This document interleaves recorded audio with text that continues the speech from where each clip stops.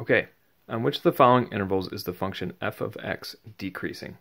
So first of all, it's asking me, okay, when is f of x decreasing? That's telling me that I must need to know when the slope is negative, right? Or that needs that means I need to find my derivative, right? Remember that derivative actually tells me my slope. So right away I know that I'm going to be doing the first derivative test to find this. So when I find my first derivative test, I got to find my first derivative and identify my critical numbers. So let's find this first derivative by just using the power rule.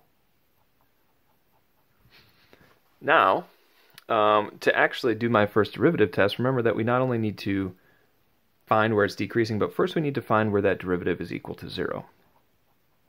So we set this equal to 0. And we can actually factor a GCF here of negative 4x. That's going to give us an x squared. And if I factor out a negative 4x here, remember that a negative times a negative will give us that positive there. And we can continue to factor this because now we have a difference of perfect squares. This is going to give us three solutions, none of which are our answer. Remember that these just tell us where the derivative is equal to zero. These are our critical points or our horizontal tangents. So where our graph is going to maybe come up and stop and level off and then go back down, right? Do something where it goes down and comes back up. Or maybe it goes up, levels off, and then keeps going up.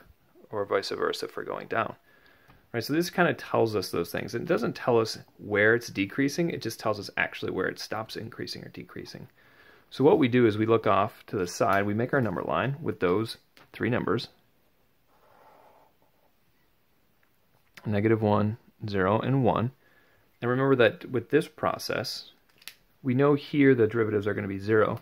We need to find what the derivatives are going to be inside those intervals. So we plug in numbers in between these other numbers on either side of them. The unfortunate thing is we're going to have maybe some decimals here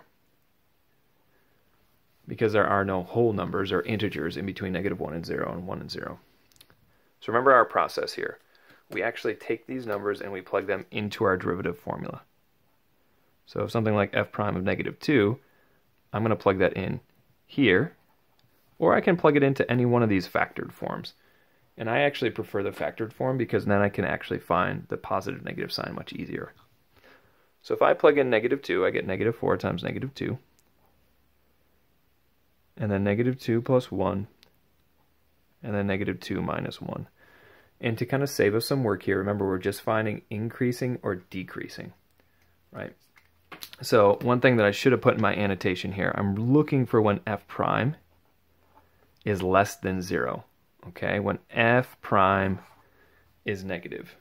So let's see what we would get when we plug in that negative 2 to get f prime. From here we get a positive. Here we get a negative. Here we get a negative. So if I multiply those together, I get a positive. So that tells me that on that interval, my f prime is positive. So my slope is positive. That tells me that this is going to be increasing. All right, so we know that that can't be an answer. We're just looking for where it's decreasing.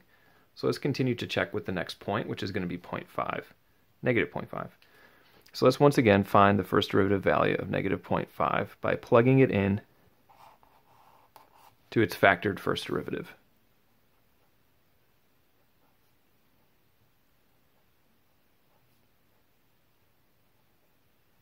And remember, we just need to know if it's increasing or decreasing, so we just need to know if our derivative is positive or negative. So let's just kind of do the math here. Let's see, negative times negative is a positive here, and then look inside the parentheses. Since one has a greater absolute value, that's going to stay positive, and then two negatives here we're subtracting, it's going to get more negative. So that means that entire answer is going to be negative. So if f prime is negative, then f, our original graph, must be decreasing. So that must be one of our answers right there from negative 1 to 0. Now we're going to try the same steps for 0.5 and 2. So let's actually plug in f of f prime of 0.5. And once again, I'm plugging this into the second or the first derivative, the factored form from before.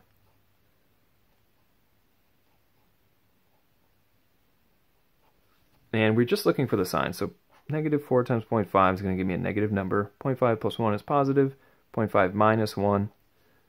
Negative 1 has a greater absolute value, so it's going to turn back into a positive. So that entire interval from 0 to 1 is going to be increasing it again. And then lastly, we're going to repeat these steps for f prime of 2. So actually find the derivative at 2. So we got negative 4 times 2, 2 plus 1, 2 minus 1. Well, negative 4 times 2 is negative. These two things are positive. So that entire interval is going to be negative. So remember that we were just looking for where f of x was decreasing. So we're looking for when f prime is negative. So we have two different areas here. And remember, we're including the entire interval. That whole section there is going to be negative, so decreasing. And this whole section here, f prime is negative, so f is decreasing.